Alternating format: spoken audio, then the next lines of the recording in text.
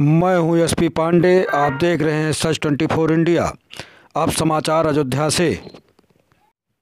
दिव्यांग सपा नेता पंडित समरजीत ने विधानसभा बीकापुर क्षेत्र के ग्राम सभा बासदेवपुर की दलित बस्ती में गरीब व असहाय महिलाओं में ठंड से बचाव के लिए वितरित किया कंबल। महिलाओं को संबोधित करते हुए पंडित समरजीत ने कहा कि संविधान निर्माता डॉक्टर भीमराव अंबेडकर जी के आदर्शों पर चलकर हमारे सपा मुखिया मुख अखिलेश जी सदैव सबकी भलाई के लिए तथा उनके हक हुकूक के लिए संघर्ष करने का काम करते हैं। पेश है एक रिपोर्ट।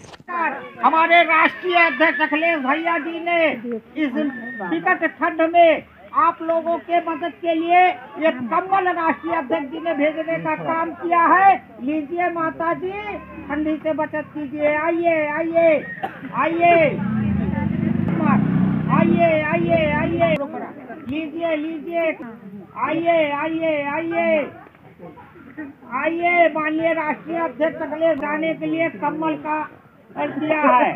आज हम बताना चाहते हैं कि तमाम तरीके से हमारे दलित भाइयों को परेशान किया जा रहा है संविधान खत्म करने की का, काम कर रही है सरकार। तमाम तरीके से दलितों भाइयों को प्रताड़ित किया जा रहा है।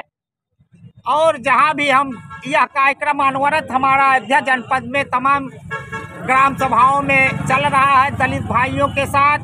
और जहाँ जहाँ दलितों के साथ अत्याचार उत्पीड़न हो रहा है, समाजवादी पार्टी सदैव उनके साथ कंधे से कंधा मिलाकर संघर्ष करने का काम कर रही है।